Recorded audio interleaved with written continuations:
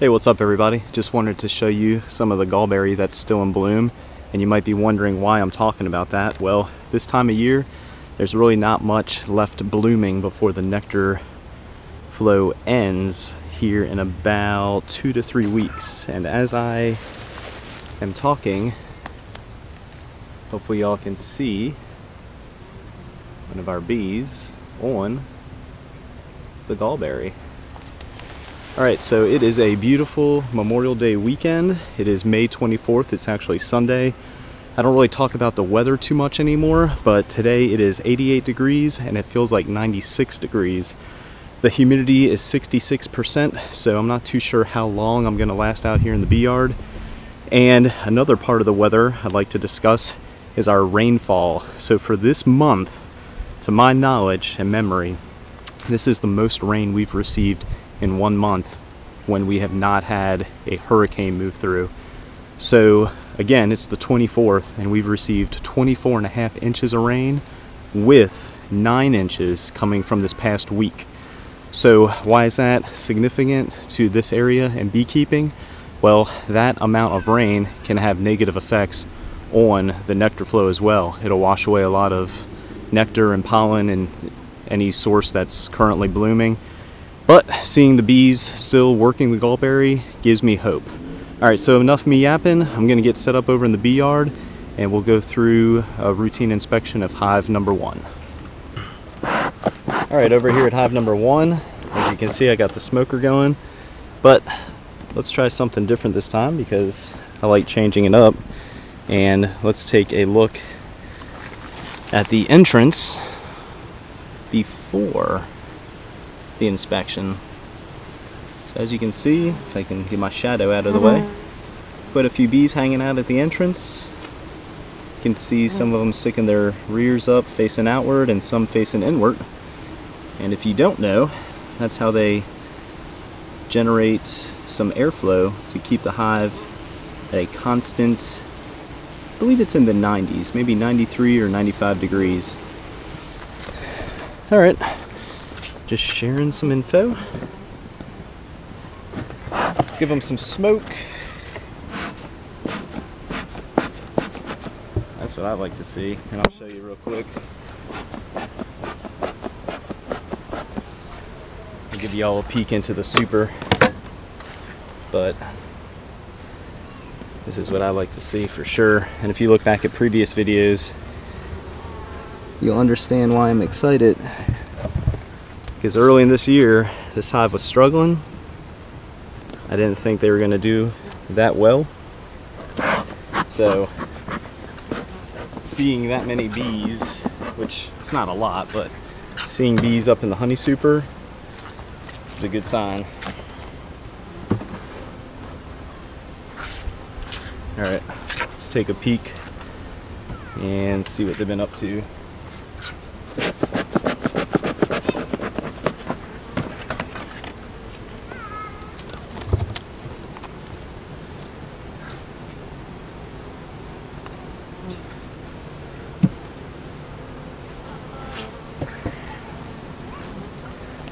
So if you look back at last week's video, I've removed a super from hive number two where I moved frames around to give hive number one more drawn frames since the bees of this colony seem to be working the super a lot better than the other.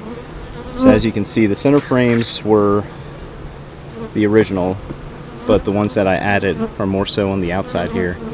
But they are finally really starting to work the super here. So one of my concerns with the amount of weather that we got this past week is, you know, the bees can't make it out of the hive and they need a food source. So if you don't know this or not, they'll start eating their uh, their honey supply and that's got some weight to it. About time.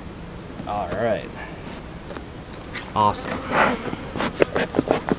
It is amazing how quickly bees will uh, start filling out a super. That's for sure. So I'm finally going to switch out this plastic excluder with a metal one. Again, in all the previous videos, if you look back, And that went pretty well. Usually, when I remove the excluder, it pops up and really jars the bees around. I was just checking for the queen on the bottom side of the excluder, which I've never found her there or on the inner lid, but you know, as folks say, never say never. Hopefully you can see this. Let me angle the camera down some more. There we go. That should be a little better.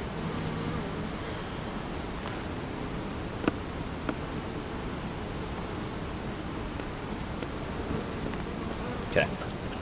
Alright, let's get to it. Actually, let me get my queen clip. I'm uh feel like I'm not that organized today.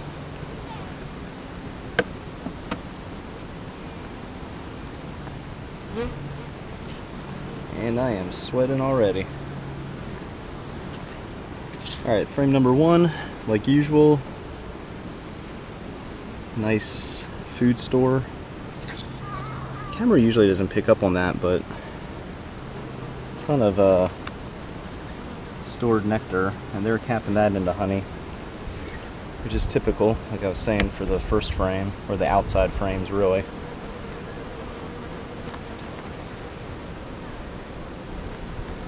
Alright, give myself some space to work, and also to make the inspection go a little quicker, so I don't have to go back and forth with my hive tool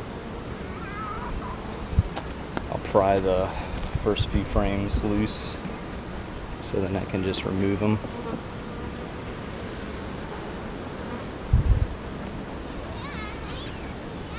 This frame has some weight to it. And that's nice too. It's a lot of food. Really wish they would move that up into the super. If they did, they'd probably fill it out in no time. Yeah, a lot of a lot of nectar. Beautiful capped honey.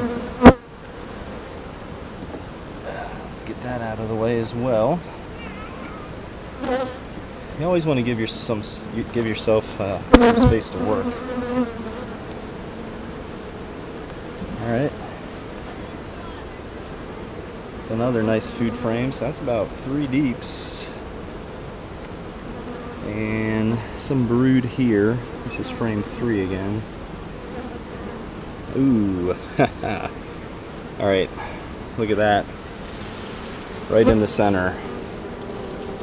Look at that queen cell. That is capped. I was out here a week ago as well. And that's probably on the verge of hatching. So, that's frame three. So at this point, I need to find the queen. I'll cage her just so I know where she is if I can but mainly I need to find the queen to make sure they still have one. And if they do, it's kind of a tough decision at that point because I don't like destroying queen cells, but at the same time, if they have a queen and they're queen right, that queen cell might get torn down.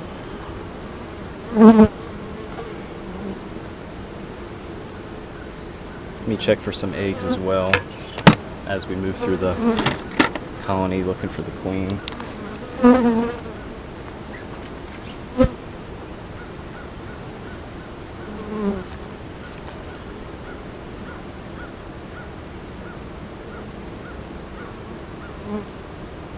Alright, there's eggs. If the camera can see where the light's at, there's eggs right here.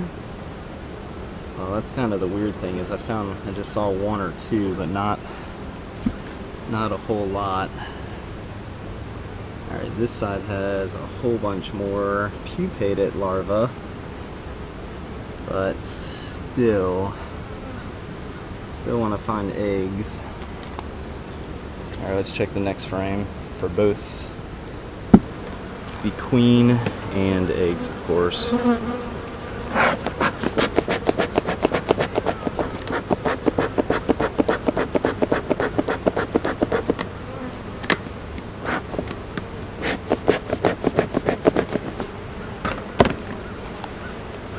So what is this? Four, frame five, right in the middle.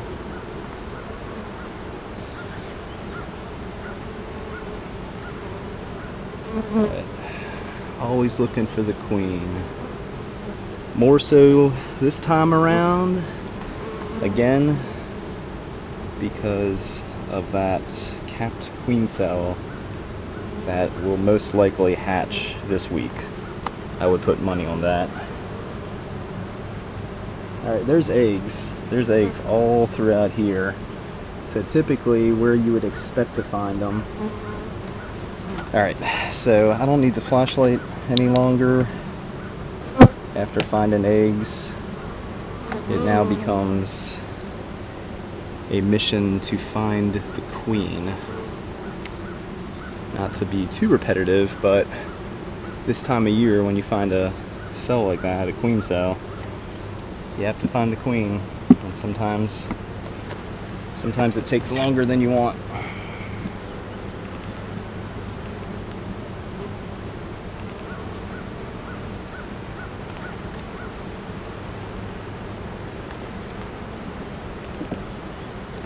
So frame six.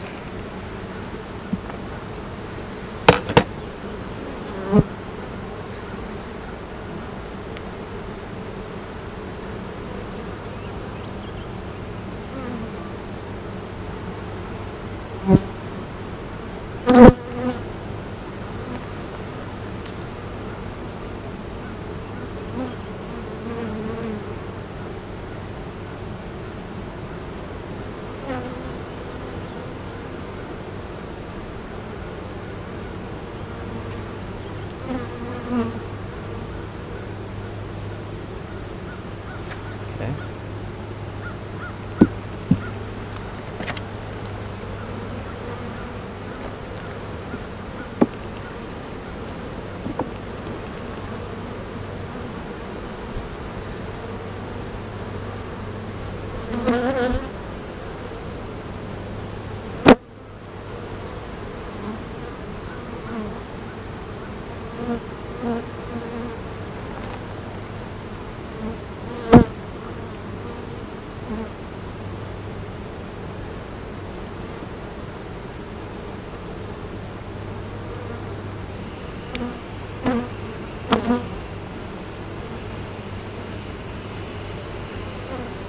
And I was just thinking, maybe, uh,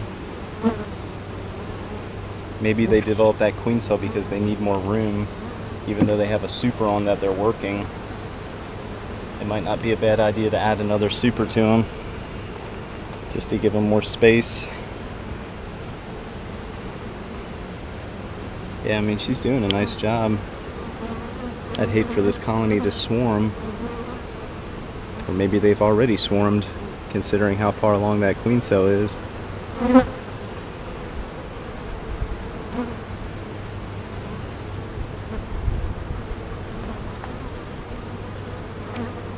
Hmm. Got two more frames to go. If I don't find her with this first pass, I'll probably, yeah, I mean, I'll have to. I'll have to go back through double check all the frames. I'll do that off camera to spare y'all that boring part. Alright, two more frames.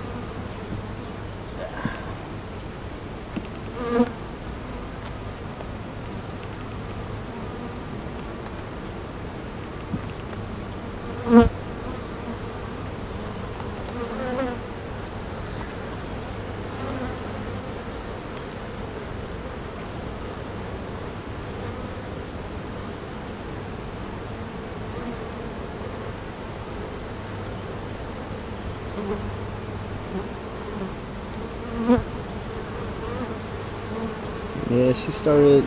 She started to lay here. Looks like they've been they've been moving food around. A lot of pollen in the center.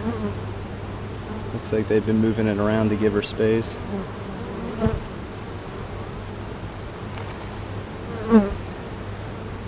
I usually find the queen when I don't really need to, meaning there's no swarm cells or supersedure cells. And then when I need to find her, It's usually uh, kind of like this, a little difficult. Alright, one more frame.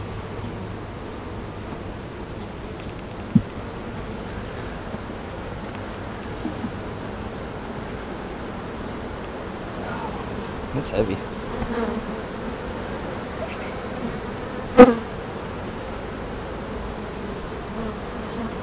Drones are throwing me off because my eyes immediately attracted to the, the larger bee on the frame. And it's a drone each time.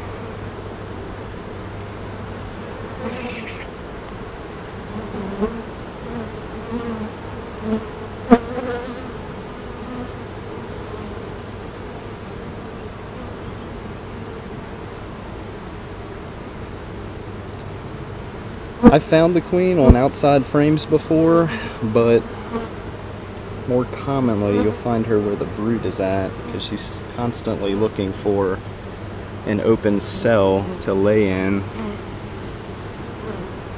But don't dismiss the outside frames just for the simple fact that she can be anywhere. Okay, here we go.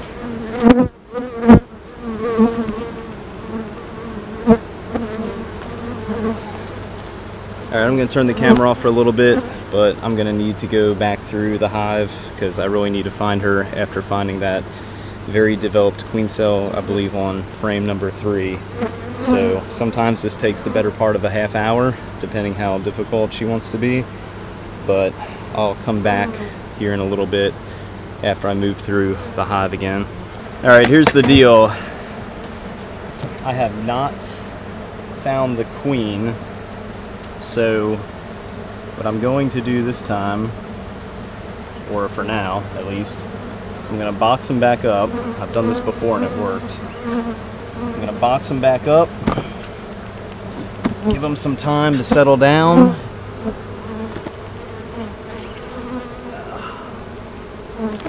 Inspect another hive in the meantime.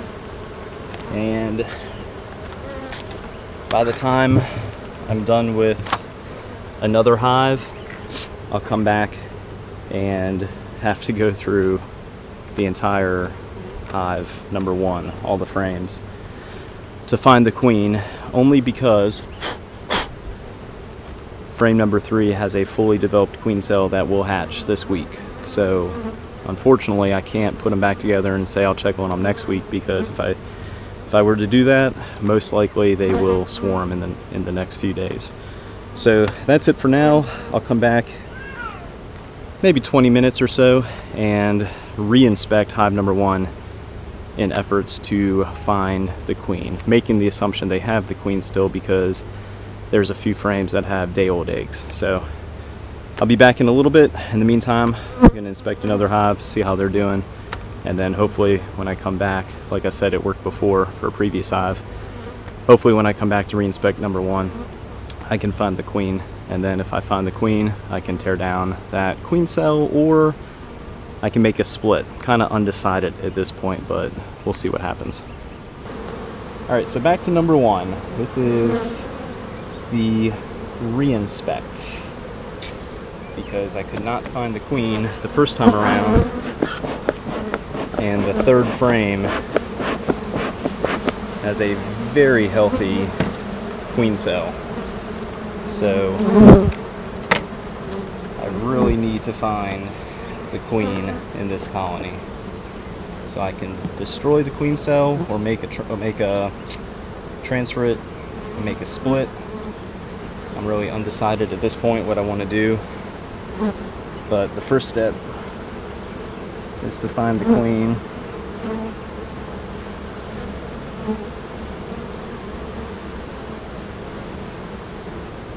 But yeah, that's the reason I'm re-inspecting this colony. You can see that queen cell. I mean, it is fully developed.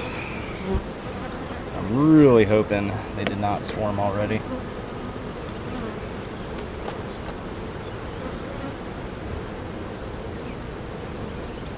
All right, back again. The reason I'm being so persistent with this hive, trying to find the queen, is they have such a nice population of bees. I would hate to lose them to a swarm, and because they have quite a few frames, like this one, that has a ton of eggs in it, day old eggs, which makes me believe she is still here.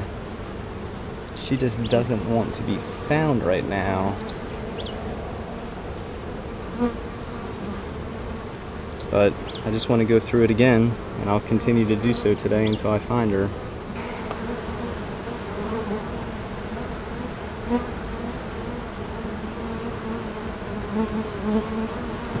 Might end up boxing them up again and coming back later today. I just really want to be sure that they don't have, or they have a queen before I do anything with that queen cell. Alright, let me turn the camera off again to save you all the boring details here. I'm to move back through them one more time, and then I might end up boxing them up again. Alright, I've been at it for probably the better part of 10 minutes now, and I hate to say this, but my patience has got the best of me. And I went to just uncap the tip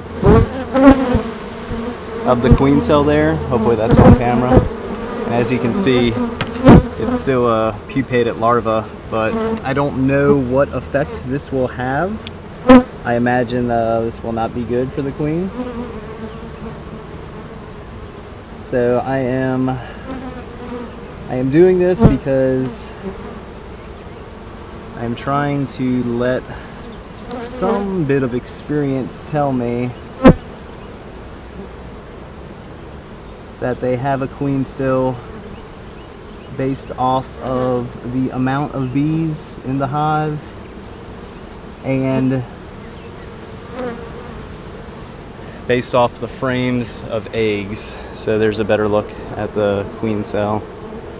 Here, let me grab the camera and bring it closer. I have not been able to find this queen, but like I said, based off the amount of eggs, here's a look at a very, very mature queen larva. So I still have a few frames or a few uh, hives to inspect. I'm just gonna make the call and say they are still queen right, but unfortunately for fortunately for this queen cell here, it's not happening this time around. And the larva just fell. And there is a look. I'll grab the camera again. But there is a look at what royal jelly looks like. All that white substance that the bees make in their brain. And that is what develops a regular female egg, fertilized egg, or unfertilized actually, into a queen bee. Alright, I've been out here for a while. The heat is definitely getting to me, so I'm gonna wrap this up. And before I do so, that is a queen larva down there. Hopefully the camera can pick up on that. That's the larva that just fell out of that queen cell. I hate doing it, I really do. Yes, I could have made a split out of that, but again, this time of year, trying to maximize the honey harvest, and this hive is actually doing very well, finally. I just made the decision, like I said, to tear down that queen cell kind of in hopes that they are still queen right based off experience and a few things that I saw. So boxing them up for good, swapping out the plastic excluder with this metal one,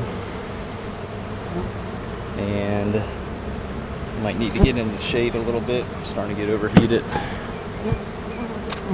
All right, well, hey, thanks for watching. If you're if you're still watching at this point, uh, definitely a more difficult inspection in comparison to the last few weeks. The bees made it pretty easy. before this time around. It's pretty difficult, but that's just how things go, I guess. All right, that's it for for hive number one. I'm done with them for this week. Unfortunately, as you saw, I had to tear down a very mature queen cell.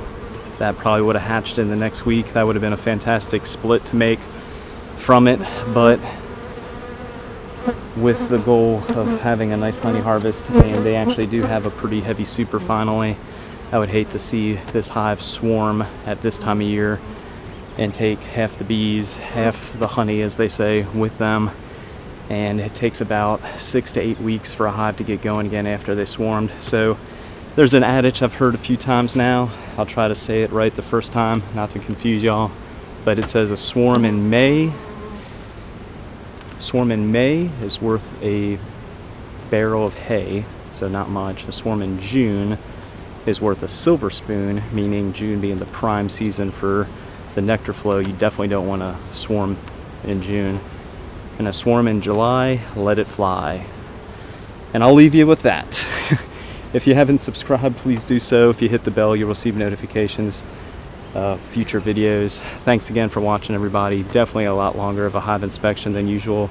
And in fact, I might call it quits and come back this afternoon to finish up the rest of the bee yard because it is hot. I don't have a water source out here with me, which is obviously not a good idea, but luckily the house isn't too far away.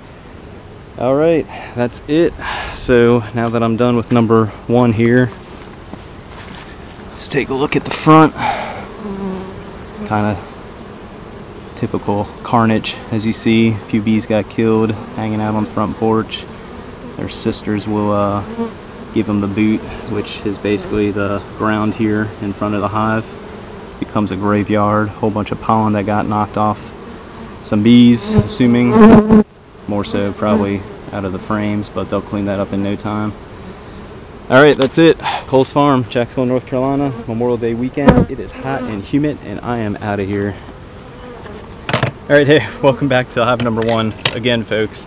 So the reason I'm back here for the, uh, I don't even know now, maybe third time today, is I thought about something after I boxed them back up, and that is to manipulate the frames in the honey super. So typically bees will work from the center out. So I did not, you know, watch the beginning of the video, of course. I did not remove any of the honey, the honey super frames to see how far along capped they are, but I do recall a few of the outside frames not being worked as heavily, which is very typical because they work from the, again, the center out. So given the time of year and they have a few weeks left, possibly a few weeks left of the nectar flow, I'm going to move some of the frames from the center outward and some of the frames on the outside to the center so they can work those more. So like I said, just something I thought of after I boxed them up.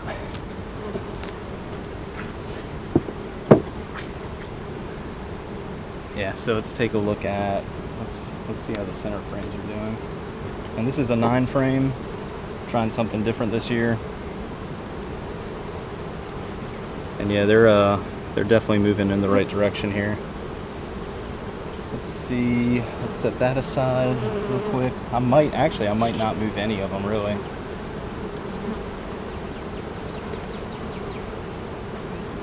That's got some weight to it there. They're capping that nicely. Yeah, same thing on that side. So actually, you know what? I think I'm just gonna leave them alone, really.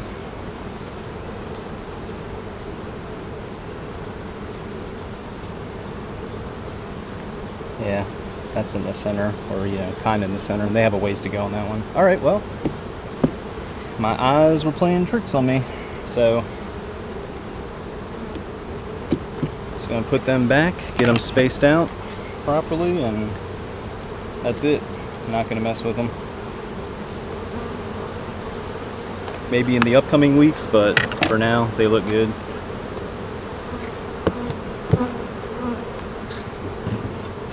Okay, well, hey.